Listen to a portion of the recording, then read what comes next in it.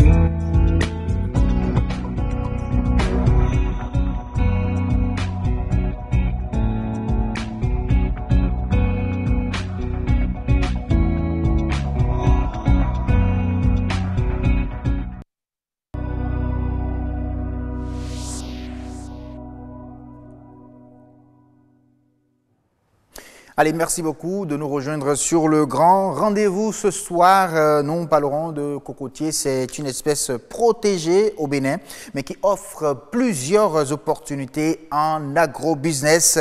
Un ingénieur agronome tout à l'heure sur Monde Agricole pour donc en parler. Nous allons parler également euh, des hygiènes, hein, de l'hygiène des menstrues, pardon. On parlera, on partira bien sûr de la puberté à la ménopause et pourquoi pas aussi des techniques de nos grands-mères jusqu'à celles euh, modernes tout à l'heure. Ce sera sur la rubrique euh, santé de nature et bien-être. Alors, euh, les candidats déjà à l'examen doivent adopter un comportement gagnant. Quels sont donc les aspects qui peuvent donc permettre à ces candidats-là euh, de voilà d'avoir bien sûr d'adopter un comportement gagnant? Nous allons détailler cela tout à l'heure avec le coach Marcel Lefond. C'est avec lui que nous allons effectuer bien évidemment cet exercice et nous allons euh, pourquoi pas nous retrouver également au cœur de l'entrepreneuriat sur euh, la rubrique Autant savoir. Et cette fois-ci, ce sera pour parler de comment est-ce qu'il faut donc franchir les obstacles quand on décide bien sûr de créer ou de mettre en place son entreprise. Rendez-vous tout à l'heure pour les détails et n'oubliez surtout pas qu'à 19h45, on va retrouver Nadège Sani pour le journal. Bonsoir Nadège. Bonsoir Asiom. On se retrouve tout à l'heure à 19h45 pour le journal, mais d'abord dites-nous quel sera le menu? Merci à vous, Asiom. La huitième mandature de l'Observatoire de la déontologie et de l'éthique dans les médias a été installée le 24 mai dernier. La vulgarisation du code du numérique est l'un des défis que compte relever ce bureau. Comment compte-t-il procéder? Vous le saurez dans cette édition. Les pesticides sont nuisibles à la santé. Les paysans et agriculteurs le savent et sont de plus en plus tournés vers les alternatives pour une culture bio.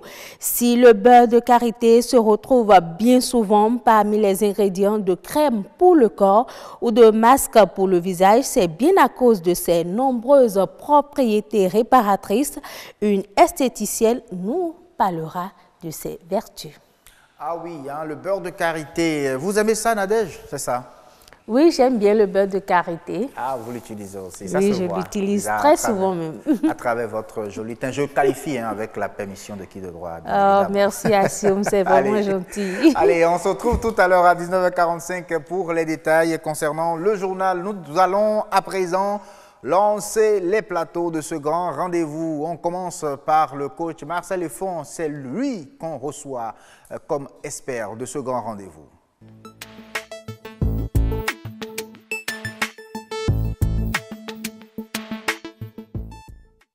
Allez, merci beaucoup de nous rejoindre avec euh, l'expert de ce grand rendez-vous. Il s'agit bien sûr du coach Marcel Effon. Avec lui, oui, vous, chers candidats ou parents d'élèves, si vous nous suivez à présent, vous, pouvez faire tout terre autour de vous parce que tout à l'heure, il sera question des astuces euh, pour permettre à votre enfant ou vous permettre vous-même, si vous êtes candidat aux examens de fin d'année, d'adopter un comportement gagnant.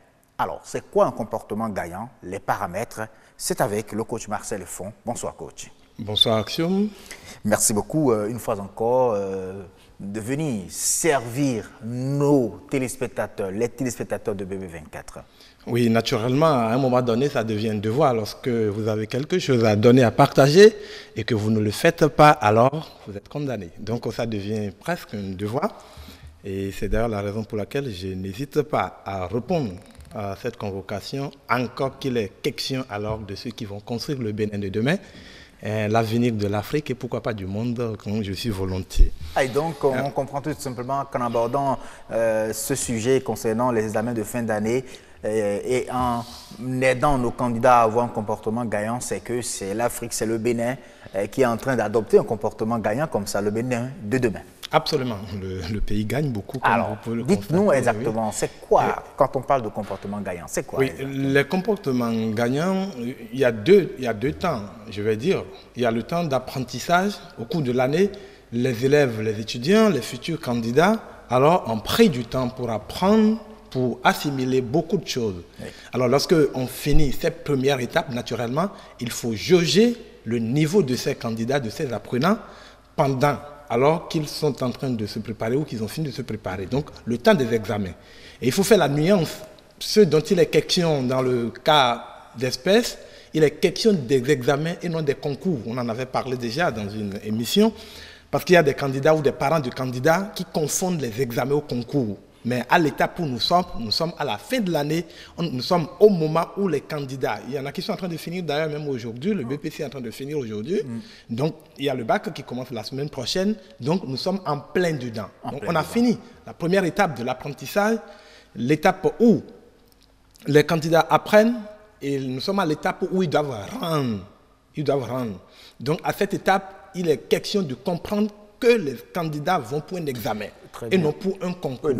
Et quand on se prépare pour un examen, la préparation doit être différente que lorsqu'on se prépare pour un concours. Lorsque vous vous préparez pour un concours, on a besoin peut-être de deux personnes, mais il y a 2000 qui sont présentés. Donc, il faut être rapide, il faut avoir la connaissance, et il faut pouvoir le donner dans le temps record et donner le meilleur que tout le monde. Donc du coup, c'est un concours, donc la compétition est plus rude. plus rude. Mais dans le cadre d'un examen, le candidat doit comprendre en réalité que il a appris pendant toute une année et on veut savoir s'il a été un candidat régulier au cours. Et la régularité au cours du candidat s'explique par le fait qu'il empointe les canaux qu'il a créés au cours de l'année pour répondre aux questions qu'on lui pose. Alors, euh, quand il empointe les canaux, tout ça, je sais que c'est des propos de coaching et tout. mais expliquez-nous un peu ce que ça veut dire. Les emprunter, les canaux. emprunter les canaux, c'est pas compliqué. Je prends un paysan. On va faire un peu de, de figure de style. Oui. Je prends un paysan qui doit aller pour la première fois dans son champ. Très bien. Alors, quand il rentre dans la brousse, il se fait un chemin le premier jour. Vous comprenez avec moi que pour atteindre son champ, ce chemin-là n'est pas parfait. C'est un sentier sur lequel il y a encore beaucoup d'herbes, il y a encore beaucoup de choses à faire. Il va marcher sur des herbes. Il va marcher sur les herbes le premier euh, il va couper certains, il va contourner des arbres, il va parvenir à son champ. Alors, à force d'emprunter ce sentier pour aller dans son champ, chaque fois, chaque fois, ça deviendra un sentier beaucoup ou plus ou moins alors agréable à emprunter pour aller vers le champ avec beaucoup plus de facilité. Les zèbres vont comprendre Les vont comprendre y le- qu'il y a un chemin, une voie qui passe, par, passe là. par là. Alors, il va dans son champ, il va travailler. Mais c'est le même processus pour un candidat qui va à l'examen. Nous avons 100 milliards de neurones. Chaque candidat a 100 milliards de neurones. Et les 100 milliards de neurones, pour fonctionner, sont raccordés entre eux. Et un candidat, avec ces 100 milliards de neurones dont dispose son cerveau, Oui. il apprend au cours de l'année. On lui pose un problème, il emprunte un chemin. Et ces chemins-là passent par la connexion entre les 100 milliards de neurones. Donc, à force d'emprunter ce chemin pour résoudre les problèmes, pour répondre aux problèmes, il prend l'année alors pour créer une voie qui va vers les solutions. Donc vous voulez juste dire aux candidats que s'ils ont eu pendant Toute l'année. toute l'année scolaire, euh, par exemple, à répondre, à se concentrer davantage Voilà. sur les À répondre aux questions, sur les à répondre aux questions et tout, c'est déjà un bon comportement. Déjà, ils ont eu le bon comportement d'un bon candidat. On ne demande pas plus. Parce que vous comprenez avec moi, que ce soit le paysan le plus averti ou le moins averti, juste en empruntant cette voie-là, un canal est créé. C'est la même chose qui se passe avec un candidat qui va à un examen. À force de faire les exercices, à force d'être présent au cours, à force d'adopter une démarche qui lui permet de répondre aux questions que lui posent les problèmes au cours de l'année, Oui. il a déjà créé des voies qui mènent vers des solutions. C'est le même exercice qu'il va faire le jour de l'examen.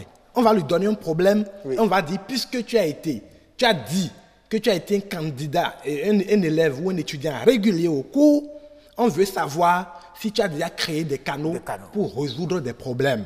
Donc vous comprenez en réalité que ça devrait être à la taille de tout élève ou tout étudiant Ça qui a été tout au moins régulier Ça devait être une joie pour une lui. joie pour eux.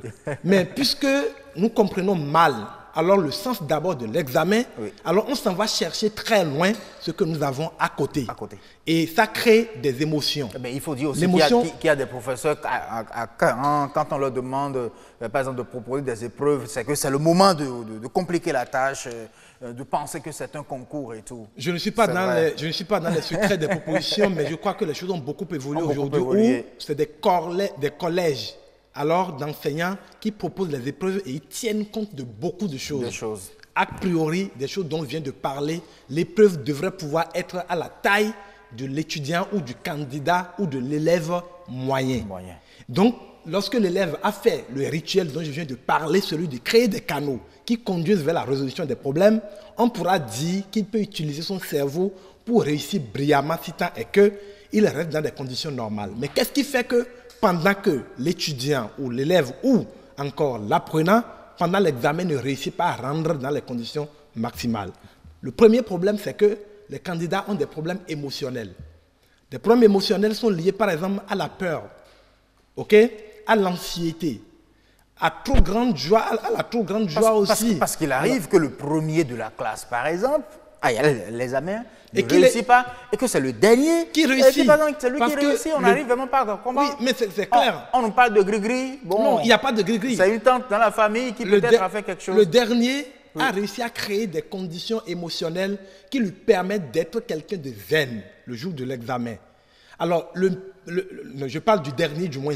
Le dernier de la, ca- de la classe, Oui. on lui a dit non, ce n'est pas un concours, on veut juste juger si tu as été présent au cours. Donc, il tient compte de ça et il crée, ou les parents l'aident à créer des conditions au point de vue émotionnel où il n- il n'entraîne pas des situations émotionnelles négatives ces derniers jours ou pendant la composition. Donc vous comprenez que ce monsieur, comme le paysan premier que j'ai décrit, il quitte la maison, il emprunte la bonne voie, même les yeux fermés parce que le canal avait été déjà créé. Il se retrouve alors dans le bon champ, c'est-à-dire à trouver les meilleures solutions Les au meilleures problème. solutions, ouais. Par contre, le deuxième, il est guindé, il est premier, émotionnellement déjà, il a des problèmes et mieux, on ne s'occupe plus de lui parce qu'on dit tout le monde, même s'il échoue, lui ne peut pas échouer Il parce qu'il est échouer. toujours premier. Voilà. Donc, il est question de le protéger par rapport aux émotions négatives, on ne le protège pas, alors que le jour de l'examen, il a besoin d'être un candidat zen et de pouvoir emprunter les canaux qu'il avait, déjà tracés pour atteindre l'objectif. Résultat, le, con- le- le- le dernier de la classe,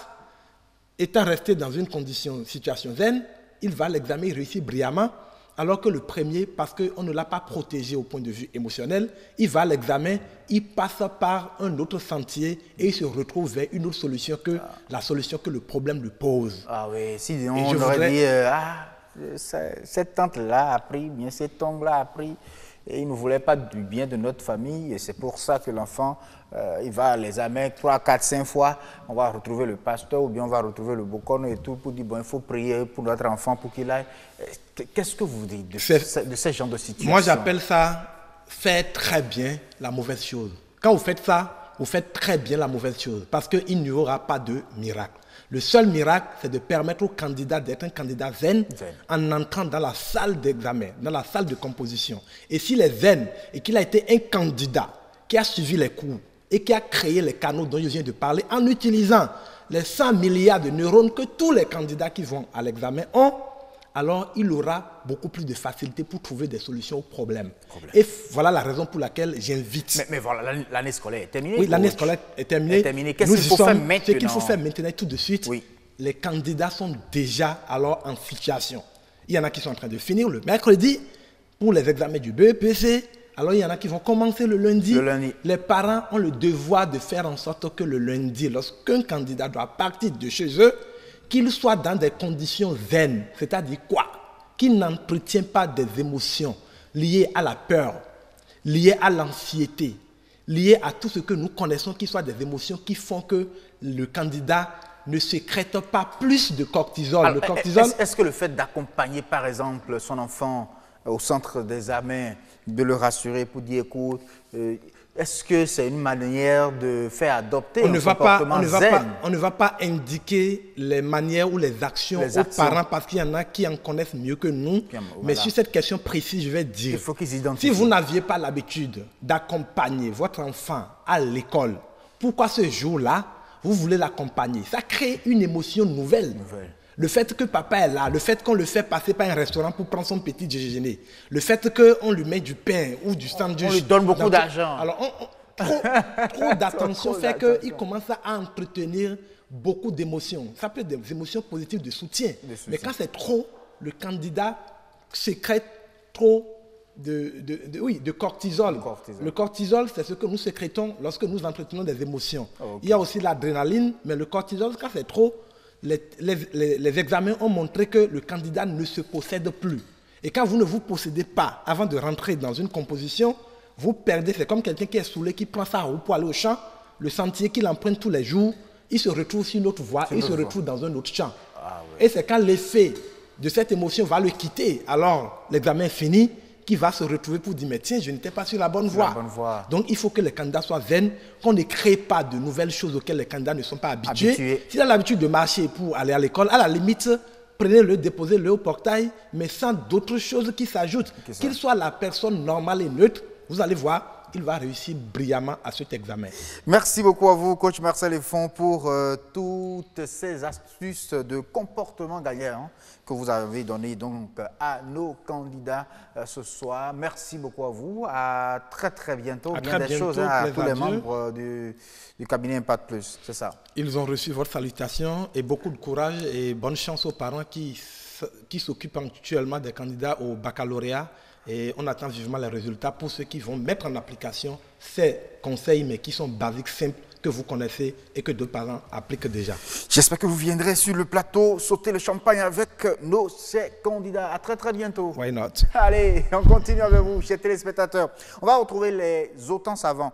Avec eux, il sera question de d'avoir d'autres comportements aussi, mais toujours des comportements gagnants. Mais cette fois-ci, c'est en entreprise. Comment réussir en entreprise de façon générale? Voilà la question à laquelle nous allons répondre sur Autant Savoir.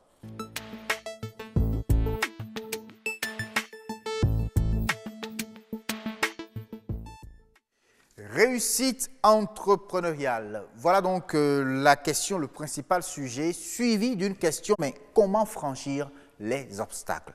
On y répond dans un instant. On suit d'abord ce reportage qui est signé Marcel Betorro qui nous parle d'entrepreneuriat agricole. Le monde agricole de nos jours présente assez d'opportunités d'affaires tant sur le plan productif que sur le plan commercial. L'arrivée des nouvelles technologies a permis d'offrir aux producteurs un plateau technique adéquats dans la chaîne de production. Dans un contexte pareil, l'entrepreneuriat agricole devient alors un modèle à adopter. Le chômage galope. Et c'est avec un cœur très dur que nous voyons nos jeunes qui finissent et qui veulent attendre d'avoir euh, un contrat ou bien un travail pour être salarié. Alors que l'entrepreneuriat est là, surtout dans les filières agronomiques et dans les filières connexes. Sur le plan professionnel, nous espérons que, au fur et à mesure que les salons vont se répéter, que un plus grand nombre de jeunes femmes sorties de l'université ou bien de jeunes hommes sortis de l'université vont s'installer et également cela leur permet de pouvoir se prendre en charge et de pouvoir devenir des entrepreneurs à vrai titre. Assurer aux producteurs une disponibilité de la matière première et un marché d'écoulement des produits agroalimentaires reste un grand défi à relever. Par exemple, la graine de l'huile rouge ou l'arachide. Il y a des moments où c'est un peu cher, il y a des moments où il y en a assez. Donc on essaie d'acheter au moment où il y en a plus les produits. Là, on achète et on fait un stock. Ce qui fait que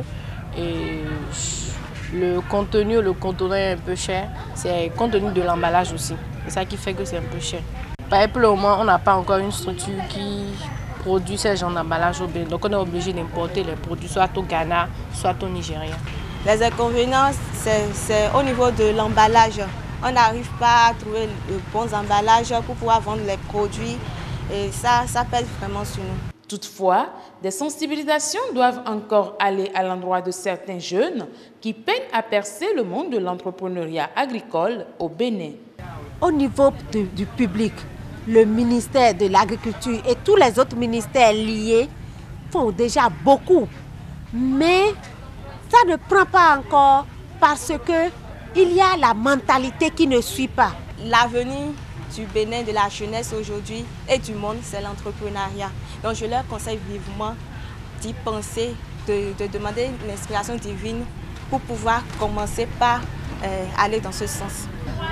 Aujourd'hui, avec euh, l'agroalimentaire, j'arrive à m'en sortir. L'entrepreneuriat agricole est un ensemble de valeurs qui s'acquièrent. Créer davantage de plateformes de formation en entrepreneuriat agricole au sein des producteurs et veiller à une bonne structuration du secteur serait un atout favorable pour le développement du secteur agricole au Bénin. Oui, des obstacles, il y en a partout, je dirais même dans tous les secteurs de l'entrepreneuriat au Bénin, mais comment les franchir? Quelques astuces pour vous ce soir de la part de M. Marcin Toklo. Bonsoir. Bonsoir. Merci beaucoup d'avoir accepté notre invitation. C'est un plaisir d'être avec vous. Je rappelle que vous êtes chef euh, de l'assistance du département. chef du département assistance et, de la mise à niveau des entreprises au niveau de la NPME. C'est ça? Exactement. Merci beaucoup. Bonsoir, euh, Bonsoir, Comment ça va? Ça va bien. J'aime bien votre, votre euh, c'est pas votre aspect naturel ce ah soir. Euh, j'ai pris des cours à Sioma. Ah ouais, je vois, mais super. On avait entendu parler du nude, donc euh, je prends des cours. Ah oui, tranquillement, ça se voit.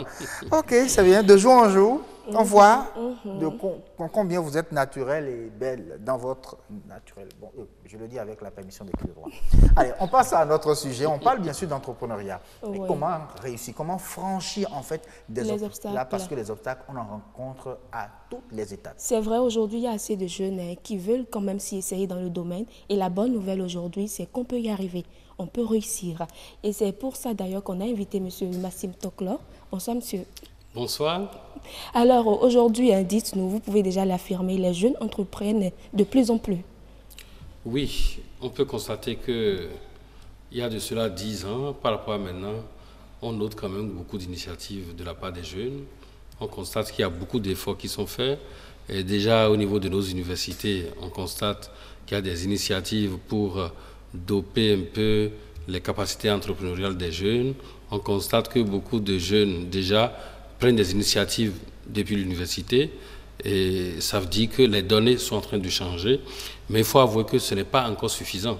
Quand on sait déjà euh, un peu comment se présente euh, le secteur de l'emploi au Bénin, quand on sait que beaucoup de jeunes encore souffrent de sous-emploi ou de chômage, eh bien, il y a bien des raisons euh, d'encourager que cela aille davantage. Parce que si on veut résorber la question du chômage, il faut créer des milliers et des milliers d'entreprises chaque année. Mhm. Et c'est vrai, mais aujourd'hui, il y a assez de contraintes hein, qui sont liées à la réussite entrepreneuriale. Oui, il n'y a pas d'activité sans contraintes. il en est de même pour l'activité entrepreneuriale. Il y a des contraintes et il y en a de tout genre. Déjà, euh, depuis le noyau familial, dès votre enfance, eh bien, c'est pas toujours évident de trouver des familles où on encourage le jeune à entreprendre. Donc la première contrainte déjà vient de là. Et vous, évoluez dans vos études. exactement, exactement. Et on veut même, aucun parent ne veut voir son enfant. Euh, après avoir dépensé des millions pour qu'il réussisse les études, se mettre dans de petites activités, à entreprendre et à chercher à réussir tout seul on préfère qu'il aille chercher l'emploi quelque part, qu'il gagne dans l'espoir que d'ici là, il sera nommé à un poste, il va occuper un poste de direction. Tout le monde aspire à ce que son enfant devienne directeur. Donc, on ne veut pas voir l'enfant entreprendre, c'est déjà le premier obstacle. Et au-delà de cet obstacle, il y a déjà au niveau scolaire universitaire que euh, notre formation ne nous formate pas à faire de nous de véritables entrepreneurs. Et au cours de nos formations, il faut remarquer tous les jeunes aujourd'hui qui créent des choses, qui fabriquent des choses. Vous allez constater que la plupart eh, n'ont pas créé parce qu'ils ont fait l'université, non. Ils ont créé parce qu'ils sont allés apprendre à créer ailleurs, pour la plupart du temps. Donc ça veut dire que l'école, l'université ne nous permettent pas toujours d'entreprendre, mais cela n'empêche que c'est toujours utile d'avoir de faire les études parce que ça nous sert quand même de base. Hein pour mieux réfléchir, pour mieux évoluer. Ça nous permet d'avoir une ouverture d'esprit et d'avoir une facilité d'accès à la connaissance par rapport aux euh, autres. Il faut aller aussi se faire former. Absolument, absolument. Il faut mettre un accent sur la formation. Donc l'obstacle lié à la formation, au type de formation qu'on reçoit, est un obstacle qu'il faut pouvoir lever à travers des formations complémentaires, à travers des aptitudes qu'on doit acquérir lorsqu'on décide d'entreprendre. L'entrepreneuriat, euh, ce n'est pas quelque chose de théorique, c'est une activité professionnelle qui a ses règles, qui a ses exigences. Et si on veut y arriver, il ne suffit pas d'aller amasser les diplômes à l'université, non.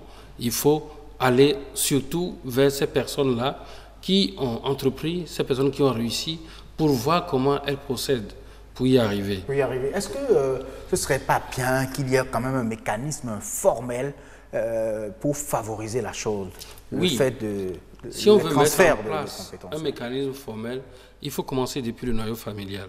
Depuis le noyau familial, parce qu'il faut déjà dire aux parents que son enfant qui va à l'école, ce n'est pas forcément pour euh, devenir un directeur quelque part, pour occuper des postes quelque part.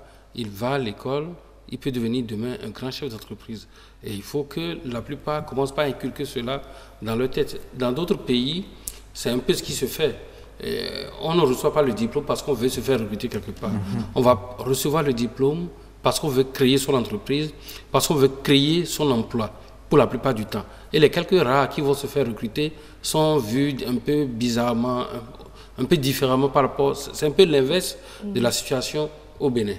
Donc, il est important que, déjà dans le milieu familial, on commence, qu'au niveau universitaire aussi, qu'on cesse de dire aux Béninois qu'il est le quartier latin, parce que le fait déjà de lui chanter tout le temps qu'il est quartier latin, il pense que être quartier latin est une fait en soi. Encore que, est-ce que nous le sommes toujours? Euh, Être quartier latin ne veut pas dire qu'il faut amasser les diplômes et ne pas en faire quelque chose de concret. En fait, je parlais des, des obstacles qu'il faut franchir. Vous avez proposé, par exemple, que euh, les jeunes aillent voir ceux qui ont de l'expérience dans, dans, le secteur. Oui. Et je me disais, est-ce qu'il ne faut, pas, euh, faut pas créer un mécanisme formel pour permettre aux jeunes d'aller de facilement facilement il y, a des, possibilités. Par exemple, les systèmes d'incubation, les mentoring, ou des mentors, ceux qui déjà sont dans l'activité, acceptent donc de devenir mentors pour ceux qui veulent y aller, ou des entreprises qui existent déjà et qui ont fait déjà des expériences assez d'incuber des micros, des petites entreprises qui sont en création, de sorte à leur faire gérer leur entreprise sur leur site, dans leur milieu et dans leur milieu, et à progressivement les libérer. Cela se passe un peu, vous allez voir, il y a des gens qui apprennent les métiers de euh, coiffure, de couture et autres, et à la fin de leur diplôme, ils passent un temps pour dire merci au patron. C'est un peu le langage qu'ils utilisent. Ce temps de merci au patron, c'est une sorte d'incubation aussi. Et vous allez aussi remarquer que certains, après le merci, restent encore un temps. Ils travaillent avec les équipements du patron. Ils, gagnent quelque chose, mais ils payent une partie de ce qu'ils gagnent à leur, à leur patron. De sorte que c'est une sorte d'incubation. Ça leur permet, tout en étant déjà euh, compétents, qualifiés pour bien travailler, ça leur permet d'expérimenter leur capacité à réussir en gestion, en management de l'entreprise. De sorte que lorsqu'ils quittent euh, cette entreprise-là, ils sont plus aptes pour réussir. Et les données statistiques montrent d'ailleurs que ceux qui réussissent mieux, ce sont ceux-là qui n'ont pas fait de hautes études. Alors, hein, Monsieur Toclo, parfois c'est la peur de l'échec et on se dit, mais si je laisse tout, j'abandonne tout et je m'y essaie et puis ça ne marche pas, on a peur. Comment savoir euh, que l'idée qu'on a est une bonne idée? Oui, et d'abord la première des choses, dans les étapes du processus de création de l'entreprise, il faut avoir d'abord soit même une forte motivation.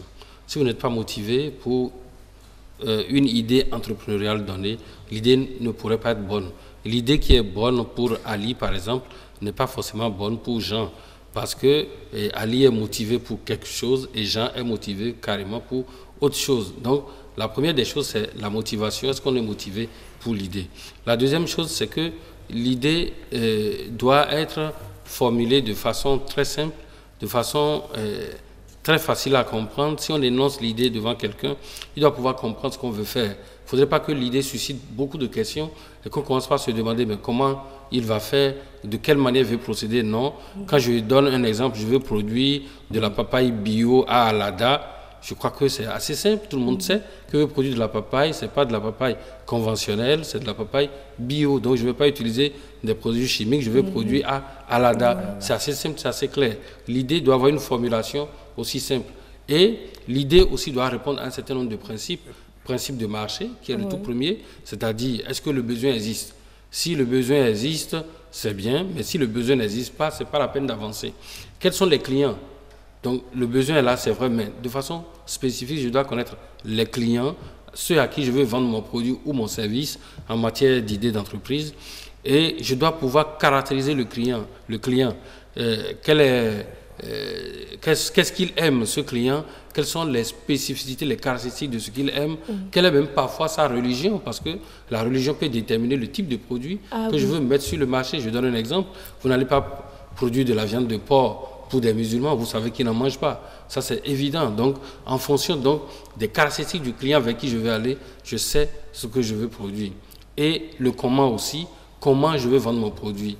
Il faut également répondre à cette question. Est-ce que c'est en ligne ou bien Est-ce que c'est en, ligne? Est-ce que c'est en gros? Est-ce que c'est en détail? Est-ce que je veux rester au champ pour que les gens viennent acheter chez moi? Est-ce que je vais amener au marché de gros? Est-ce que je vais aller sur le détail?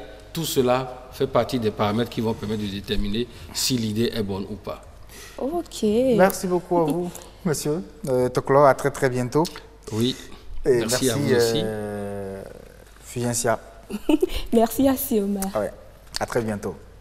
Allez, le grand rendez-vous va continuer. On va quitter bien sûr les entreprises. Euh, cette fois-ci, on va se retrouver euh, avec euh, Heureuse d'annonder et son invité. Il sera question avec eux de parler, bon, de questions de femmes. Je le dis comme ça, juste pour lancer. ah oui, ça fait rire à Madine de l'autre côté. Juste pour lancer la rubrique.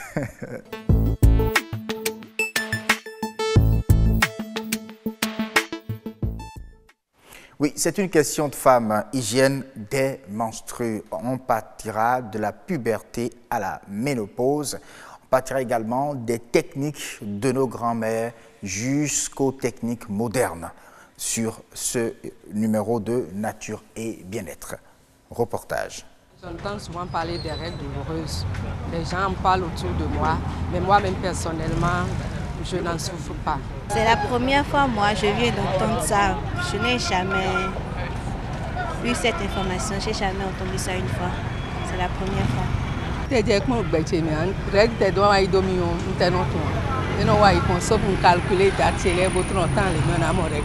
te wena asi prendre précaution ni me nye ɖo vi bɔ yɔ edze si kpɛvi me tɔn de be reg mi mlɔ tro lɔ kome dzi nɔ wuli yɛ mi do tɔ pe wɔna ma se tɔ wɔna ma se ni wɔmi sɔnɔ dɔ toto dze mi na mɔ a sɛ dumɔ yɔ dza yɔ mi lɔ xɔ bɛ nɔnɔ sisan mɛ apre yɔ wa ɖo yi kun bɛ ni abɔ tɔ yɛ diɔ fi tse dzibia yɔ opere tɔn tɔ yɛ diɔ dzibia ils regolo odino de o opere tondino sono do problema eni wa me ka soji aso de opere o. Nkunu trump ya nsofri no doctor do pe nínú a edo etre. Lumina de mina de kole o. Mina gbe nu keke do tutan bon ko doctor di do ni o ekuro no mo me ni le chubo iro mo ku me ye ka o mo kaka jeje ya mi ro po te pon ma o sin aso ma blɛ ya e découragé parce asutɔn ko dzivi ɖo toko. J'en entends parler. J'ai même vu des personnes qui ont souffert de ça. C'est vraiment atroce. Et je sais que ça a des conséquences graves. Moi, quand ça m'arrive, je prends des calmants. Parfois, je prends un médicament que maman m'a prescrit. Une tisane, quoi. Parfois, je prends aussi des antibiotiques pour calmer le. Selon moi, quand tu as les règles douloureuses, ça dépend. Ça dépend de la manière dont tu as mal en fait. Quand c'est trop dépassé, on peut aller à l'hôpital. Bon, endométriose, ce thème, je ne maîtrise pas trop. Ah oui, nous on revient hein, pour suivre des questions euh, qu'on maîtrise euh, ou bien qu'on va désormais maîtriser avec l'aide bien sûr euh, du docteur Komlan Agossou. Bonsoir. Bonsoir. Avec vous, il est question de parler ce soir d'hygiène des menstrues, de la puberté à la ménopause. Heureuse d'annoncer bonsoir. Assum Gaba, bonsoir. La pleine forme ce soir, j'espère. Eh oui, la parfaite santé avec une bonne hygiène menstruelle. Ah oui. Ah oui. Bon, en tout cas, ça, il faut peut-être le dire à, à qui de droit. Allez. Oui, parlons-en, parlons-en, parlons, oui, parlons. on est avec docteur Kamlan Gossou, comme vous l'avez dit. Docteur, merci d'être là chaque fois qu'on vous invite. C'est un plaisir. Le plaisir est partagé. Alors, lorsqu'on parle de l'hygiène menstruelle, déjà les menstrues, c'est normal, n'est-ce pas? Oui, les menstruations, c'est normal. Mm. Menstruation, règles, menstrues, tout ça, c'est pareil. Mhm. Déjà, pour euh, clarifier Oui, les questions de sémantique. Mm. Donc, menstru, menstruation, règles. Règles, c'est la même chose. Oui. Et, euh, mais par contre, c'est différent du cycle. Mhm. Parce qu'il y a une, une confusion souvent. euh, euh, j'ai j'ai mon cycle. Euh, c'est pas vrai. Mhm. Le cycle, c'est la durée entre deux menstruations. Ok. Voilà. Donc, donc la, La- menstruation la est dans le cycle. La menstruation La fait partie du menstruation cycle. Euh, donne le début du cycle. Voilà. Donc, la- le cycle va d'une menstruation, du début d'une menstruation au début de la menstruation suivante. Suivante. Et donc, ça dure entre euh, 21 et euh, 35 jours en moyenne, Ok, dans les mais cas normaux. la, la, la, la normale, la durée normale? Du cycle? Oui. Bon, le cycle standard, c'est 28 jours. D'accord. Mais il y a des écarts de- de- entre 21 et 35, 40, 38 jours. Donc il y en a qui ont des cycles de 21 jours. Oui. Ah. C'est tout à fait normal. Normal. Oui. Wow. Et Et, c'est euh, régulièrement 35 comme ça. 35 jours, 35 jours, c'est normal. c'est normal Oui. aussi. Mais lorsque on a de ces cas-là où les menstrues, la dame arrive à avoir euh, ses menstrues peut-être une fois euh, sur euh, trois mois, Oui, ce n'est plus normal. Parce que normalement ça doit être chaque mois, ça doit être mensuel. En tout cas, les- le cycle menstruel ne doit pas dépasser 35, 35 jours. Parce que 35 jours, ce n'est plus déjà une fois par mois. Mhm. Euh, Ça oui, empiète déjà sur le mois suivant. Sur le mois suivant, Voilà. oui, oui. Donc, au-delà de 35 jours, à partir de 40 jours, déjà, c'est des cycles déjà allongés. Mhm. Et il doit avoir des raisons. D'accord. Alors, lorsqu'on est en pleine période de menstruation, quel comportement adopter lorsqu'on parle de l'hygiène? Alors, les, les menstruations, donc, c'est un saignement Mhm. euh, qui sort par euh, les voies génitales de la femme Mhm. et qui marque euh, l'absence de fécondation. Donc, en fait, c'est parce que la femme n'est pas tombée enceinte au cours du cycle dernier que les règles apparaissent pour permettre au phénomène naturel de préparation d'une nouvelle fécondation éventuelle de se mettre en route. Ça, toutes les femmes le savent, hein, parce que Bien. beaucoup guettent cette euh, période-là à des moments donnés. Voilà. Alors, donc, quand le sang coule, il y a un risque d'infection. Parce que nous parlons d'hygiène. Donc, la question fondamentale doit tourner autour du risque d'infection. Donc, moins on manipulera, mieux ça vaudra. Donc, C'est-à-dire? tout ce qui est toilette, Oui. douche vaginale, Oui. c'est inutile, puisque ça permet d'introduire de l'étranger vers l'intérieur. Euh, Mais les microbes. C'est donc- inutile, vous avez dit. Oui, puisque ça s'écoule co- continuellement. Et il paraît même que le vagin se nettoie, euh, non, euh, bon, de lui-même, il paraît. de toutes les façons, le vagin n'est pas souillé. Ah. Le sang s'écoule de l'intérieur vers l'extérieur puisque c'est ouvert. Ok. Alors, le sang va s'écouler jusqu'à ce que les règles s'arrêtent. Et la, la fréquence d'écoulement ne dépend pas de la toilette, la douche vaginale effectuée. Effectivement. Donc, douche vaginale ou pas douche vaginale, dans le vagin, il y aura du sang. Mais le sang vaginal ne va pas se stocker puisque le vagin est ouvert. ouvert. Donc ça va sortir. Donc, pour ne pas se salir, il faut utiliser euh, un, un réceptacle. Et ce réceptacle, c'est ça, euh, soit c'est des serviettes euh, hygiéniques en, en papier blanchi, ou bien c'est des tampons vaginaux, ou bien c'est des, des- des- des morceaux de toile, euh, comme le, font euh, traditionnellement les femmes. Oui. Pas nos grands-parents, elles n'ont elles n'ont plus de Il y a des règles. femmes qui le font aussi euh, traditionnellement. Le- Jusqu'à aujourd'hui. Très souvent, C'est- les, mères apprennent euh, aux, aux filles à prendre soin de, à prendre soin d'elles pendant les menstrues là, comme ça, avec les pailles. Avec en les coupant tissu. Oui, C'est- comme ça que vous avez appris. euh, Moi, bien sûr, j'ai commencé par là. Ok. Je suis pas née, je suis pas un enfant de 2000 là quand même. Donc, docteur, mais ces coupons, ces serviettes hygiéniques et tout ça, il y en a tellement sur le marché. Et on veut bien savoir, est-ce que tout ça, c'est bon pour... Il y euh, a beaucoup d'idées reçues là-dessus. franchement, est-ce que c'est bon pour euh, euh, préserver ou pour l'hygiène menstruelle? Alors, euh, il est important que le, le réceptacle utilisé soit propre. Donc, il faut s'assurer de l'approvisionnement. Si c'est quelque chose de trafiqué, ça devient dangereux. Parce que si on ne peut pas s'assurer que c'est propre, on peut s'infecter. Ça, c'est le risque majeur. Majeur.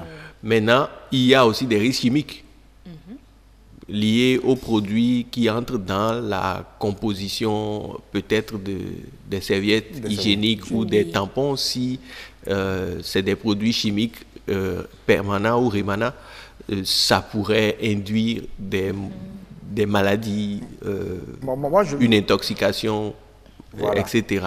Je, voudrais que vous rassurez un peu nos, nos téléspectateurs sur où vous, vous les aidiez plutôt, nos téléspectatrices, à choisir entre les coupons de toile et les serviettes hygiéniques. Il y en a tellement sur le marché. Euh, qu'est-ce qui est, qu'est-ce qui comporte moins de risques? Alors, euh, lorsque une femme choisit les serviettes hygiéniques, premièrement, c'est qu'elle en a les moyens, parce qu'il faut acheter. Ah. Elle ne peut pas réutiliser ce qu'elle a utilisé tout Ça, de suite. clair. Donc, il faudrait en acheter en quantité pour pouvoir changer au moins euh, toutes les 4 heures. Toutes les 4 heures. Voilà, Oui. je savais qu'on allait aborder. toutes les 4 quatre heures. Parce qu'au-delà, la pilulation microbienne va commencer. Mhm. Puisqu'il y a du sang. Oui. S'il y a du sang, euh, les microbes sont toujours là, ils vont commencer à se multiplier parce que le sang est un milieu nourricier pour les, euh, Les microbes. les microbes. Donc ils vont se développer facilement si vous gardez trop longtemps euh, la serviette hygiénique. Donc il faut la changer toutes les 4 heures. Toutes les 4 heures. C'est simple. À, à chaque fois, il faut faire une toilette intime? Il faut laver la vulve, mais pas une douche vaginale.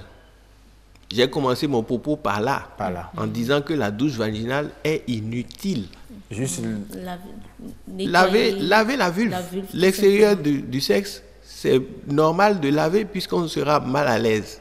les poils pubiens vont prendre du, sang. Il va avoir des caillots dedans, il va avoir des dépôts sanguins. Juste nettoyer ça, se débarrasser de ça. Ça, il faut nettoyer pour être à l'aise. Et puis, euh, le fait d'avoir mis une serviette hygiénique ou bien une couche en toile, mm. euh, cela crée une macération parce que ça surchauffe, ça diminue l'aération qui est là. Le, le, coupon de toile aussi, il faut changer ça toutes les 4 heures. Oui, tout à fait. Voilà. Et le coupon de toile doit être lavé, séché au soleil, mhm. au, minimum. Au minimum. Mais très souvent, au soleil au minimum. sous les serviettes hein, des dames. Si c'est sous les serviettes, alors il faut repasser au fer chaud mhm. avant, l'utilisation. Mhm. Parce que le repassage est une forme de stérilisation. Stérilisation. Donc pour les, les, les toiles, euh, le fait de repasser, hmm. c'est de la stérilisation. En tout cas, il faut vous acheter un fer repassé. J'en ai quand même. non, À, vous seul. Juste ah. pour ça. Parce que, je, en fait, il y a des idées reçues et je savais que j'allais poser la question au docteur avant qu'il ne quitte ce plateau. Il l'aborde. Très souvent, c'est pour ça que je commence pas à demander, c'est normal d'avoir les menstrues. Ailleurs, quand la femme est en menstruation, elle est mise à l'écart et à certains endroits, elle ne peut pas franchir. Et il dit maintenant, il faut qu'elle, si c'est pour faire ça, il faut qu'elle ait alors son, son fait à repasser. Oui, pour ne pas créer de problème avec, euh, pour, pour ne pas créer de problème hein, dans le. bon, franchement, docteur. Parce qu'il y, en a qui n'aiment pas, et qui demandent carrément que la femme soit à l'écart. Donc, il faut. J'ai tellement de questions à poser, docteur. Déjà. Mais, il est pratiquement l'heure. Hein. Oui, je vois la jeune édition, ça me fait mal en fait. C'est vrai. C'est vrai. On, va revenir sur le sujet. Déjà, on va commencer peut-être par là pour le prochain numéro. Pour le prochain numéro. Ah mais c'est quand même un docteur, c'est pas un spiritualiste, vous comprenez Effectivement. Voilà. Merci beaucoup à vous, docteur Agosso. À très très bientôt. Oui, Nadia Soni nous attend hein, vraiment de l'autre côté. Elle est impatiente à la rédaction de BB24 avec elle. Nous allons suivre le journal. Il est 19h45 chez téléspectateurs.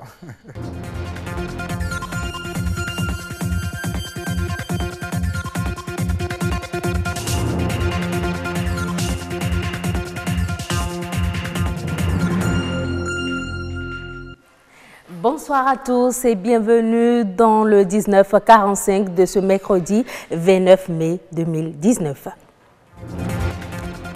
Vulgariser le code du numérique, c'est l'un des nombreux défis que compte relever la huitième mandature de l'ODEM. Le nouveau bureau a été installé le 24 mai dernier à Cotonou pour un mandat de trois ans.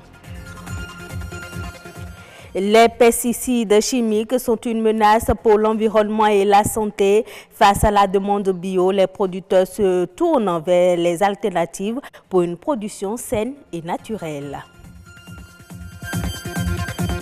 C'est l'un des ingrédients les plus utilisés en cosmétique. Le beurre de karité est apprécié pour ses propriétés dermatologiques. Une esthéticienne revient dans cette édition sur les bienfaits du beurre de karité.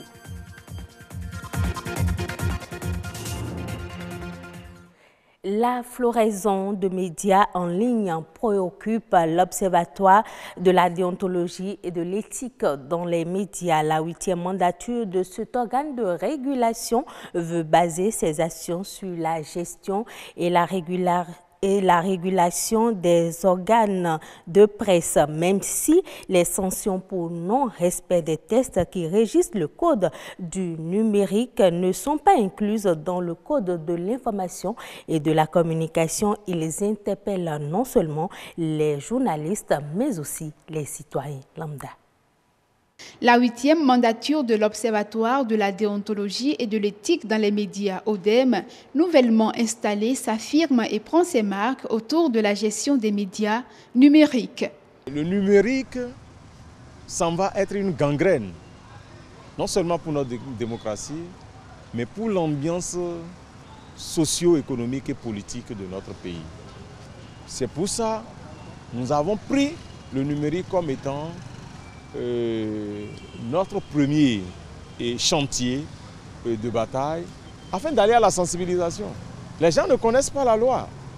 Les gens pensent que quand on a un peu de mots dans son portable, on peut se permettre de raconter des insanités et de salir les gens de diffuser des photographies comme l'on veut, d'attenter à la vie privée des gens comme l'on veut, et que tout est permis sur le numérique.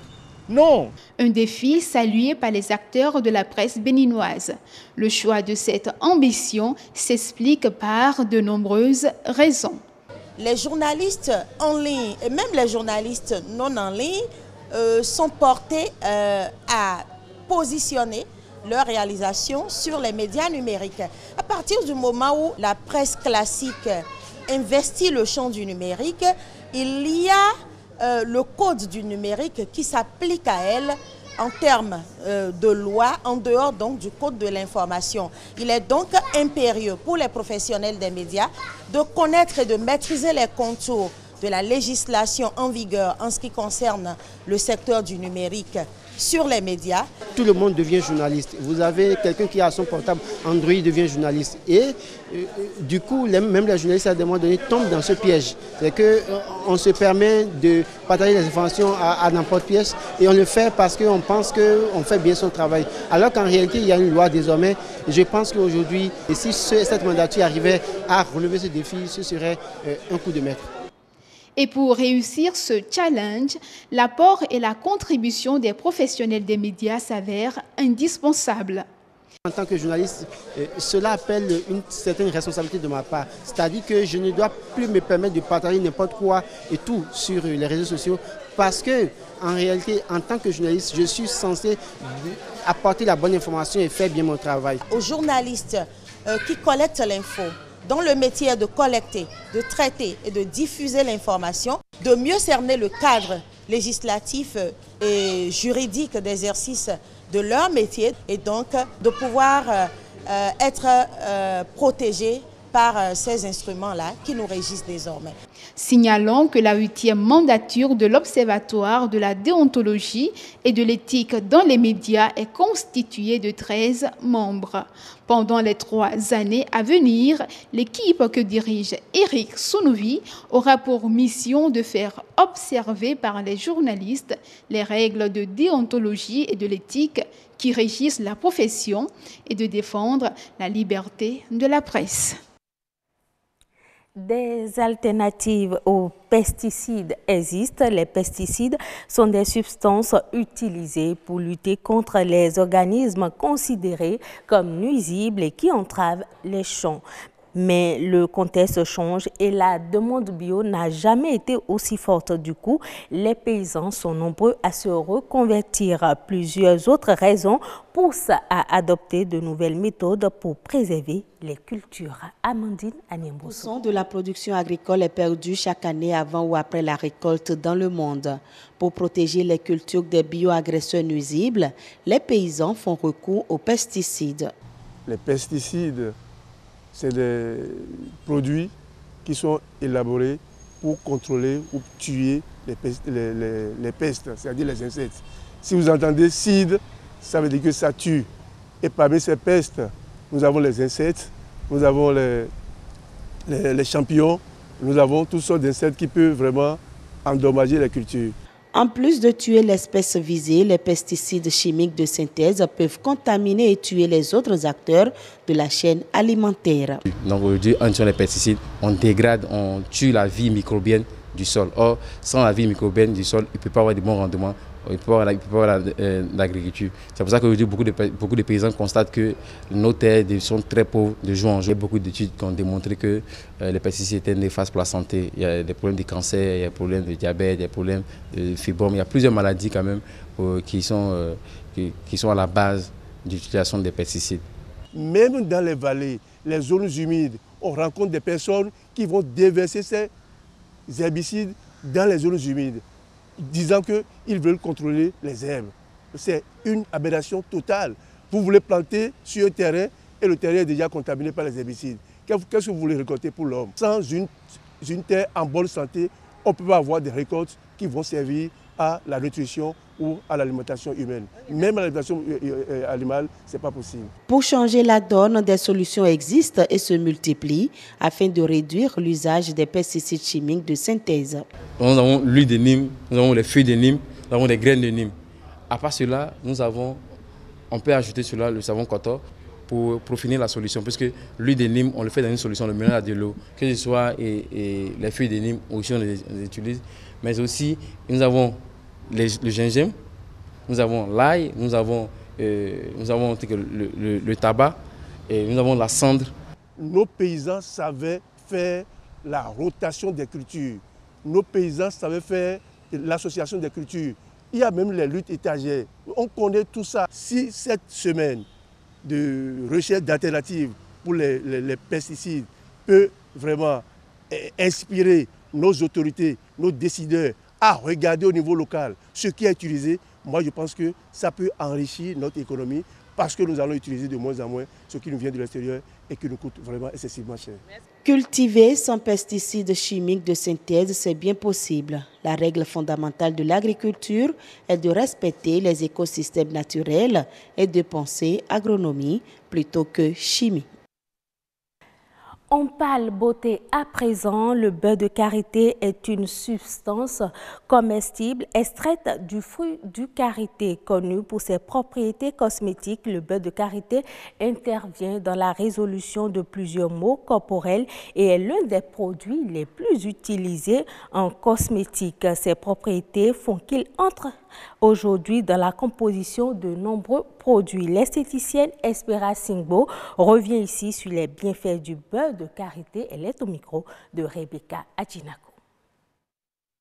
Le beurre de karité est un produit euh, qui a plusieurs vertus que nous utilisons pour plusieurs problèmes de peau. C'est un hydratant, ça contient des vitamines euh, D, E, F et c'est un assouplissant. Et ça hydrate la peau, les peaux sèches, pour ceux qui ont des peaux sèches, c'est un hydratant. Le beurre de karité a plusieurs vertus. Comme après des rasages, vous pouvez utiliser du beurre de karité. Vous avez mal quelque part, vous pouvez mettre du beurre de karité. Pour les éruptions cutanées, vous pouvez utiliser du beurre de karité. Et les mamans enceintes, vous pouvez utiliser du beurre de karité sur votre ventre pour empêcher les vergetures de se former vous pouvez également utiliser du beurre, de karité pour les peaux desséchées, pour les pieds crevassés et pour protéger la peau contre le soleil et pour le massage. Hors du Bénin, la nouvelle société cotonnière du Togo va ajouter 35 francs CFA sur chaque kilogramme de coton graine vendu par les cotonculteurs au cours de la campagne écoulée 2018-2019. Une fois versé, ce complément portera le prix du kilogramme d'or blanc initialement fixé à 250 francs CFA en début de campagne fin mai 2018 à 280 85 francs CFA. Selon la société d'État qui gère la filière, ce prix final est le meilleur pratiqué dans l'ensemble de la sous-région. Au Togo, la production de coton-graine a atteint 137 255 tonnes, soit une hausse de 17% par rapport à la saison précédente.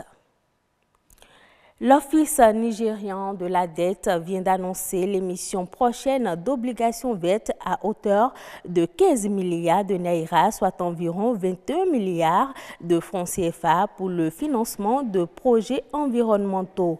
Selon le communiqué, les projets éligibles sont les énergies renouvelables, le reboisement et le transport. Ce projet d'émission d'obligations vertes connaît la participation de plusieurs structures financières. En mars 2019, la CES Bank avait déjà mobilisé grâce à cet instrument 41 millions de dollars pour financer des projets durables dans les secteurs de l'industrie, du transport et de l'agriculture. Ce sera tout pour cette édition. Merci de préférer BB24. Allez, merci beaucoup à vous de nous avoir présenté cette édition du journal le 19h45. Et c'est tout, le grand rendez-vous va continuer. Merci à vous, Nadège. Hein. Merci, Asiom. Passez une très, très bonne soirée. Merci et bonne soirée à vous également. Merci beaucoup. Rendez-vous déjà demain ou quand? Demain, peut-être. Pas la grâce de Dieu. D'accord, pas la grâce de Dieu, effectivement. C'est ça. Le grand rendez-vous va continuer avec vous, chers téléspectateurs, avec les plateaux. On commence euh, avec. Euh, oui, oui, oui c'est Monde Agricole, avec Marcel Betoro, bien sûr.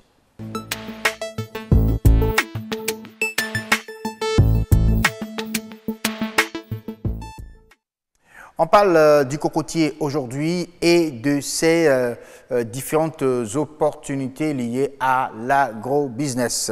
Oui, on parle bien sûr de cet arbre qui est bien protégé au Bénin. Nous allons suivre d'abord ce reportage de Marcel Betoro. C'est un extrait documentaire sur les dérivés du cocotier. Le cocotier, un arbre à usage multiple.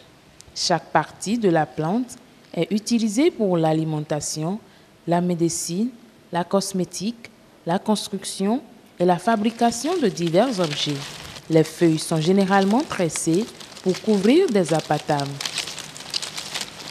Certains les utilisent pour clôturer leur maison.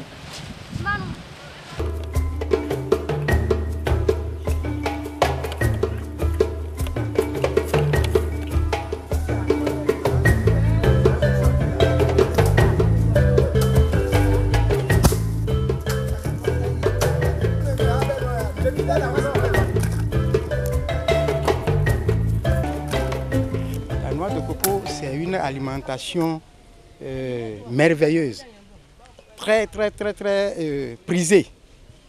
À l'intérieur, nous avons une eau qui est consommée comme breuvage et eau euh, rafraîchissante. Au Bénin, le jus de coco est industrialisé et disponible sur le marché. Une fois séchée, la noix de coco est appelée copra. Elle est utilisée à plusieurs fins. Au Bénin, le litre d'huile de coco varie entre 1500 francs et 1700 francs CFA selon la disponibilité du coco. Ses vertus sont nombreuses. L'huile de coco, euh, encore appelée huile de copra, c'est une huile végétale à base de de l'albumine séché de noix de coco qu'on appelle copra. Il a été démontré que l'acide gras saturé contenu dans l'huile de coco, euh, c'est l'acide laurique qui a des propriétés semblables au lait martinel. Pour les acteurs de la gastronomie, la noix de coco est un trésor.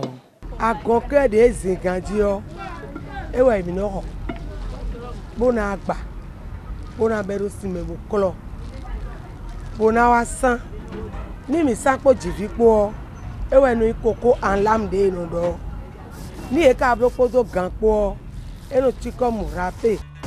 Le tronc du cocotier est utilisé dans le processus de construction des habitats. En plus d'être décoratif, il est réputé lourd, résistant et très fibreux.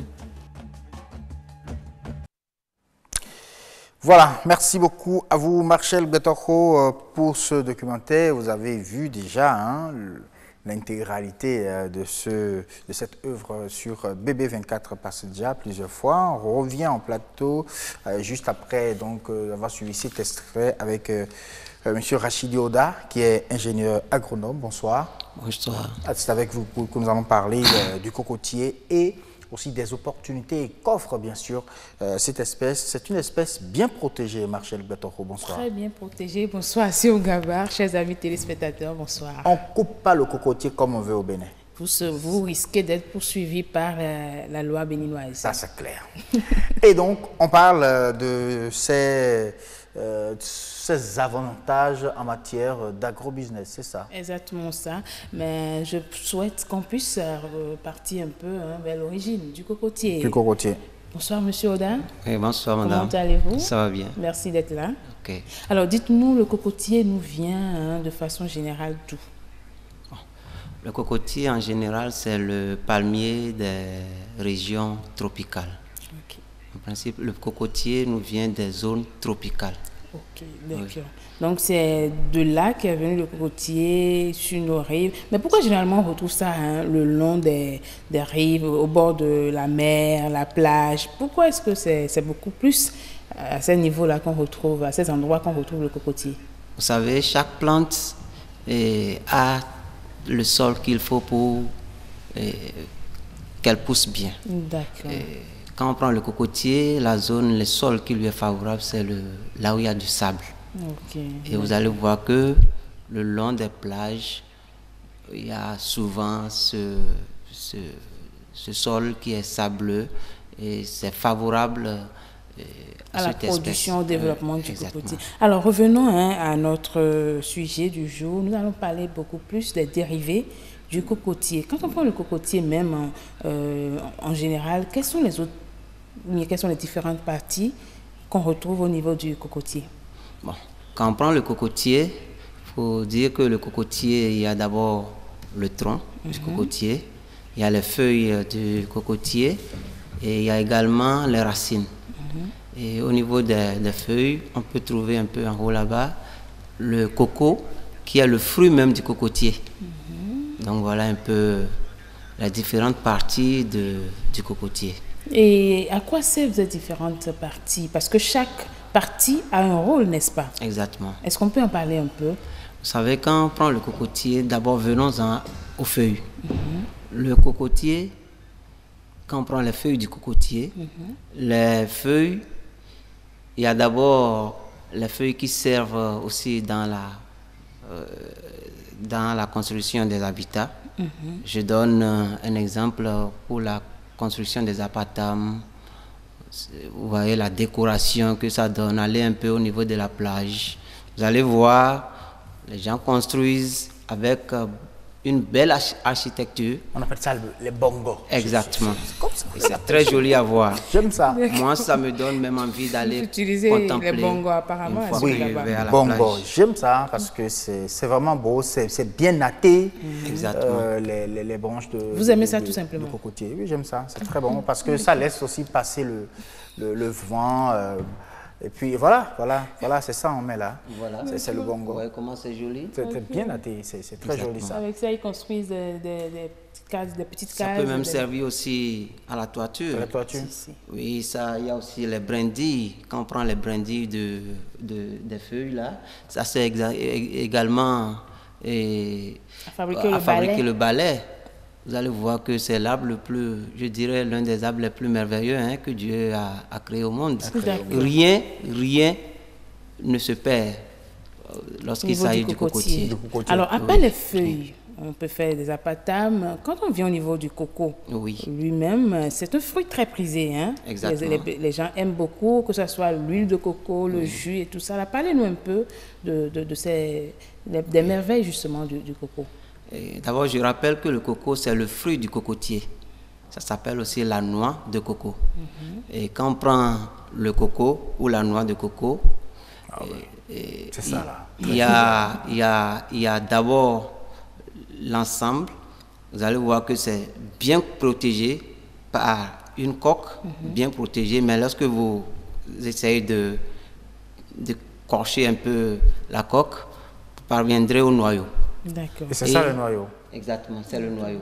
Et à l'intérieur s'y trouve l'eau, qu'on appelle l'eau de coco. Ou le jus de ou coco. le jus du coco. Ou également le lait du coco. Ça D'accord. dépend. Lorsqu'il est mûr, Mhm. ça devient du lait. D'accord. Et à l'étape euh, un peu Vert là, quand c'est encore vert, c'est pas encore très vert, mûr. Voilà. Vous voyez que c'est c'est pas Ça, mûr. c'est le lait du coco, hein C'est le lait du coco. Le lait du exactement. coco. D'accord. Vous voyez? Donc, euh, il y a l'eau du coco qui sert à beaucoup de choses. Hein. Moi, je me rappelle, il y a quelques mois, mon épouse était enceinte et elle avait le vertige chaque fois. Et on a tenté la médecine. euh, En tout cas, les médicaments, euh, ça voilà, n'a pas pris. Et elle est revenue un jour à la maison me dire que quelqu'un lui a donné une recette. Je dis, c'est quoi la recette? Il dit, Non, bon. on va pas donner la On va recette. donner l'antenne. recette, mais on sait déjà que le jus de coco ou l'eau de coco est très prisé. Il y a de l'énergie dedans, et puis quand les tout. gens prennent, on se retrouve. Et tout Et en dehors de l'eau, il y a, il y a aussi l'huile de coco. il y a- aussi l'huile du coco. L'huile du coco ou l'huile du, co- euh, du, co- l'huile du copra. Ok. Vous voyez? Le coco ça, séché ça rentre dans l'alimentation comme dans la savonnerie. Pour fabriquer du savon, on utilise aussi cette huile-là du, coco, coco. pour fabriquer du savon. Mais toujours au niveau du coco, on utilise aussi. Hein, Il y a l'amande. Ah, et nous pouvons aussi parler de l'amande. Il y a l'amande qu'on appelle même le copra. Et cette amande, ça, lorsque vous voyez les bonnes dames la amuse-gueules. pour faire des amuse-gueules, fabriquer beaucoup, même pour préparer du tapioca par exemple, euh, on essaye de râper, de faire un mélange et ça a un bon goût. Exactement. Il y a aussi du, par exemple pour faire du gâteau, on a besoin de du copra. Tout ça dans le coco, hein? Oui, oui, le, le lait du coco par exemple, ça, ça sert à donner un peu de l'arôme. Mm, D'accord. Alors, quand on vient au niveau du, du cocotier même, le tronc de, de l'arbre, de, de- le tronc du cocotier, Oui. c'est également fait beaucoup de choses. Ah, je dirais que c'est l'un des arbres les plus résistants au monde. En tout cas, on ne coupe pas. On va vous le On dire. ne coupe pas. On va vous le dire, mais vous n'allez pas couper hein, les, les cocotiers. On ne coupe pas. Mais, je pense qu'à un certain âge donné, on peut donner une autorisation pour couper le cocotier. à là, il faut se référer à la législation du pays en question. exactement. Parce que si Il faut la avoir loi ne, l'autorisation du ministre. Je vous en prie. si la loi ne vous donne pas l'autorisation de couper, vous le faites. Même si c'est un bien privé, vous savez que la loi protège même ce qui est privé. C'est ça. Donc, euh, c'est une espèce que la loi protège. D'accord. Donc, vous étiez en train de parler de, de comment on peut utiliser le tronc d'arbre du cocotier. Exactement. Le tronc d'arbre du cocotier, et d'abord, ça sert à la construction des, des bâtiments.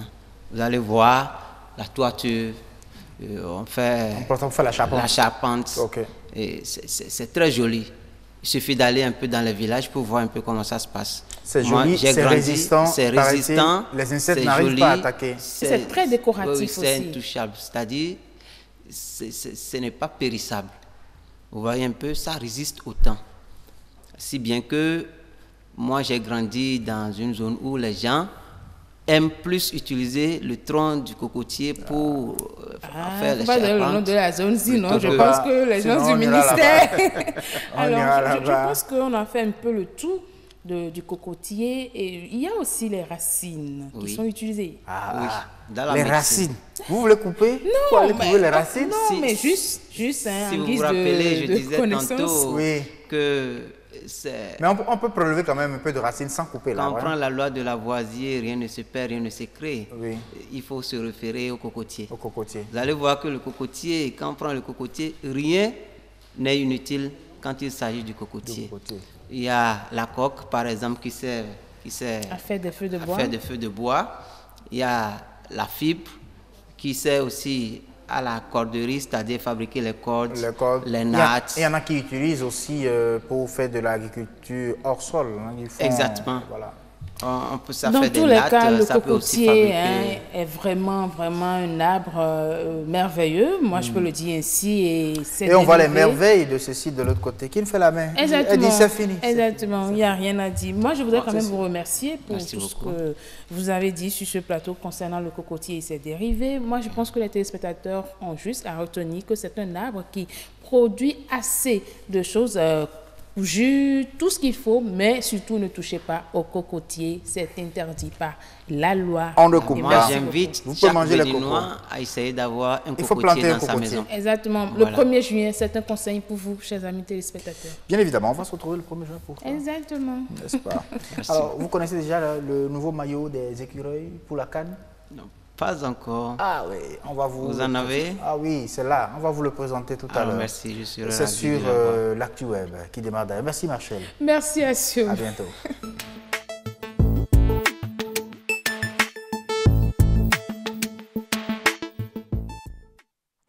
Oui, nous y sommes. Nous sommes sur la toile avec Adonis Boum. Bonsoir Adonis. On se retrouve ce soir et là on sera beaucoup plus sur le terrain et dans les vestiaires des écureuils à la canne. Les 23 sélectionnés sont désormais connus. Michel Dussier, le, le sélectionneur béninois, a dévoilé hier la liste des 23 retenus. Il paraît que vous êtes euh, sur la liste. Ah, c'est possible. Pour la Cannes Égypte 2019. Oui. Une liste de trois gardiens. Oui, de- trois gardiens, c'était le même qui avait joué le match contre le Togo. Huit défenseurs, six milieux et six attaquants. Dans cette liste, on retrouve jusque deux locaux. Le gardien shérif Dinkapo, le portier du- des Buffs de Bo- Borgou, Oui. et le défenseur Rodrigue Fassinou de l'ASPAC. Le reste évolue dans le championnat européen ou dans le championnat africain. Il faut souligner que le Bénin euh, jouera son premier match face au Ghana le 25 juin. face au Ghana le 25 juin. 25 juin. Et donc, on, on comprend tout simplement que c'est pratiquement euh, l'équipe euh, qui a joué contre le, Le Togo, Togo, à peu oui, près. À hein. peu près, jusqu'à que. Euh, il y a eu, il y a euh, qui, a- qui été ramené, qui était suspendu, qui n'avait pas joué. Ceci d'Almeida et, et, autres. Michael Poté. Oui. Qui sont la venus? liste euh, est euh, actuellement avec l'aide de l'infographe, nous aurons la liste. On aura la liste. Il paraît que euh, il y a pas, on n'a pas sélectionné euh, euh, certains attaquants. Bon, je pense que. Je pense que, Besson, euh, le- Jacques Besson qui n'est le- pas. On ne pourra pas polémiquer dessus parce que Michel Dussuyer Non, non, non, non, non, pas, pas la peine de polémiquer là-dessus. C'est juste une manière euh, de détailler un peu la liste euh, aux téléspectateurs. La liste, euh, pour tous les téléspectateurs qui veulent voir la liste, il suffit d'aller sur le site de l'ORTB, vous allez voir la liste des 23 joueurs retenus. ortb.bj. Vous avez la liste des 23 écureuils sélectionnés, la liste officielle. Voilà. Et donc, le, euh, à partir de quand déjà? Donc c'est le- c'est- la liste est depuis, disponible depuis hier. Non, je sais que c'est disponible. Vous avez dit la date euh, du match, du premier match. Le premier match des c'est le 25 juin. Le 25 juin, pendant Oui. que la Cannes va démarrer le, Le 21. 21. Le 21, d'accord. Il y a déjà les matchs amicaux qui sont prévus. Les matchs appliqués sont prévus. Euh, je sais pas. Je pense que euh, c'est contre la Guinée équatoriale. euh, euh, non, On va- on va la. Guinée. On va revenir. La, la Guinée Conakry. On va euh, revenir sur ça. Et puis la Mauritanie, je Oui, pense. Je pense qu'il y a deux matchs ça. amicaux là qui sont, qui sont euh, prévus. Alors, ce qui est encore bien avec les écureuils, c'est que le nouveau maillot des écureuils est connu, c'est-à-dire le maillot de la canne pour les si. écureuils. Les- le, le- dire, le, on dit, l'édition qui doit, qui doit montrer les maillots a présenté hier Umbro, a présenté les maillots des écureuils, les maillots qui sont, que, avec l'infographe nous aide bien, le maillot jaune, maillot blanc et le maillot des gardiens. Suite à la publication de ces maillots, il y a eu des réactions. Oui. Nous commençons d'abord par Florence Savoyda. Ah oui, c'est ça le maillot. Voilà le maillot, quand ils vont utiliser à domicile. Ah oui. Le hein. maillot blanc pour les matchs à l'extérieur. À l'extérieur. Oui, c'est Ok, ça. il y a le blanc et puis il y a le jaune aussi. Oui. Et le maillot des gardiens, aussi bien. Ah oui, il y a, il y a- aussi a déjà. Voilà, Ah là, c'est le maillot des gardiens. Le maillot des gardiens. Oui. Euh, le- L'orange, on dirait, on dirait le gardien de Barcelone. Et bien, la publication de ces maillots, il y a eu des réactions. On prend Florence Savoyda. Oui. C'est joli, mais ça, ce n'est pas le plus important. Le plus important, c'est qu'il marque beaucoup de buts, Beaucoup de buts. et ramène un bon résultat à la maison. Ah d'accord, ben, il a tout à fait raison. Dean, espérant qu'ils confectionneront sur leur taille normale. C'est pas le truc qu'ils portent, on dirait boubou là. non, en fait, pour la canne, pour, Pour les la compétitions officielles, on prend la mesure de chaque joueur. Et puis Oui. chaque joueur déjà avec son numéro déjà connu. Et ouais, donc, alors ce que ceux qu'ils ont l'habitude de porter à la maison, ou bien dans les matchs euh, et pour les éliminatoires, c'est euh, un truc standard dont n'importe qui peut venir Ah, prendre Faites l'appel au le, le internaute a posé sa préoccupation. Voilà, c'est juste une mesure standard qu'on- le- utilise. Laurence A demandé déjà où est-ce que c'est disponible. On l'achète quand? Ah oui, ça c'est important. Parce que, euh, par exemple, la Coupe du Monde, le maillot, le nouveau maillot du Nigeria, ça a été été- ça- faisait partie des maillots les plus vendus Oui. voilà, pendant la Coupe du Monde. Je pense que les Béninois aussi peuvent faire de même, hein, acheter euh, davantage de, de maillots des, des écureuils pour la canne, Voilà. histoire euh, de, de, porter, supporter. voilà. de supporter aussi les, les écureuils du Bénin. Même préoccupation de Doria qui espère que ces maillots soient disponibles pour ceux qui veulent en acheter dans des lieux dédiés. Nous prenons le commentaire de En tout cas, quand on ne présente pas le oiseau, hein, on veut le vrai. Commentaire de B. Si c'était la canne des maillots, c'est clair qu'on est parti pour être champion. Ah oui, hein. Bon, malheureusement, c'est pas la canne des maillots. Je reviens sur un détail important. Nous avons dit que la liste des 23 a été dévoilée hier. Oui. Je ne sais pas si c'est coïncidence, mais hier c'était le 60e anniversaire du sélectionneur national. Ah oui, Michel Dussier avait Michel 60 ans hier. C'est vrai, c'est une coïncidence. euh. Et il sort la liste. ah oui, ben, c'est peut-être pour célébrer son anniversaire aussi. les joueurs vont le dire, joyeux anniversaire. Ceux qui étaient sélectionnés, bien sûr. Les autres, on verra bien. Ah ouais, le voilà, Michel Dussier. Bon, il n'y a, pas le, la tenue de, du coach? Là, le plus important, c'est pour les joueurs d'abord. les joueurs. Tu es sûr que pour le coach, il aura dans, dans- dans cette, dans cette tenue sélection. pour le coach, il doit avoir une tenue pour le staff Ouais. aussi. Peut-être qu'ils seront plus dans la même couleur. Ouais. là, il y aura griffé staff derrière. Griffard, staff, écureuil. Bon, c'est ça aussi. Allez, merci beaucoup à vous. Adonis, euh, une dernière information sort du cadre des écureuils. Euh, il paraît, bon, je ne sais pas, c'est un chien écrasé si vous voulez, on peut le dire ainsi. C'est bien possible d'être ivre sans avoir bu. Oui, c'est un Japonais qui a été arrêté ivre au volant, qui a invoqué le syndrome de l'auto-brasserie. Être ivre sans boire d'alcool, c'est impossible. C'est pourtant ce qui est arrivé à un Japonais arrêté ivre au volant de sa voiture à Itami dans la soirée du fin de ivre, mais n'a pas pris d'alcool. Ah. Lorsque je suis nerveux, mon corps produit de l'alcool. A déclaré l'électricien aux policiers qui l'ont tout demandé à arrêter. Impossible de vérifier si l'homme dit vrai, mais son implication est possible. Parce qu'il y a le phénomène, euh, le phénomène on l'appelle le syndrome d'auto-brasserie ou de fermentation intestinale. Il s'agit d'une infection très rare causée par un taux anormal de levure dans l'estomac qui transforme les glucides absorbés en alcool dans le, sang. dans le sang. Il y a quelques années, le cas d'un Britannique souvent cette maladie a été raconté sur BBC.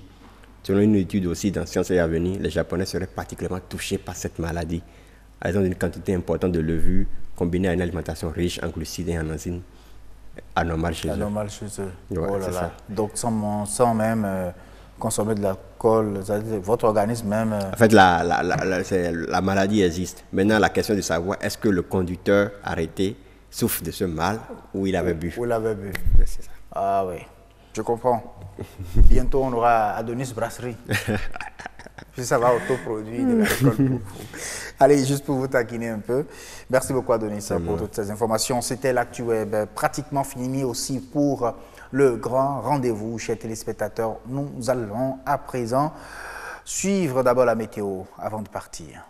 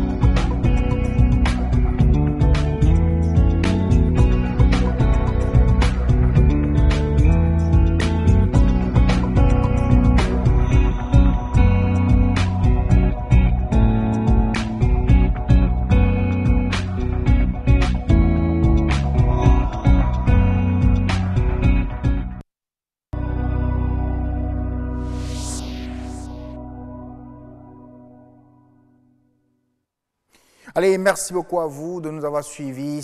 C'était vraiment un grand, grand, grand plaisir d'avoir passé en tout cas ces quatre plateaux avec vous, hein, chers euh, téléspectateurs. On a eu donc à parler du cocotier, euh, qui est donc une merveille, bien sûr, des, tropiques. On en parlait avec le coach Marcel Font euh, de comment donc avoir des comportements gagnants. Enfin, bien sûr, pour les examens de fin d'année. On en parlait avec, bien sûr, Heureuse Danondé et son invité d'hygiène des menstrues. On est allé de la puberté à la ménopause. Il a été également question sur cette émission avec euh, euh, Fulgencia Moutondi et son invité. Il a été question, bien sûr, euh, de réussite entrepreneuriale. On a parlé également du cocotier. Voilà, vous comprenez donc la réussite entrepreneuriale. C'était donc avec M. Maxime Toclor. Et puis, on a fini par le sujet concernant, bien sûr, le cocotier. Vous avez vu donc les merveilles que présente, bien sûr, cet arbre, cette espèce qui est bien protégée au Bénin. Merci à Marcel Toro hein, pour euh, ce sujet choisi. Et donc, ce sera tout euh, pour le grand rendez-vous de ce soir. Mesdames et messieurs, merci de nous avoir suivis. C'était vraiment un grand plaisir. On va se retrouver demain à 19h00 pour une autre édition de Grand Rendez-vous. Portez-vous bien et très bonne soirée chez vous.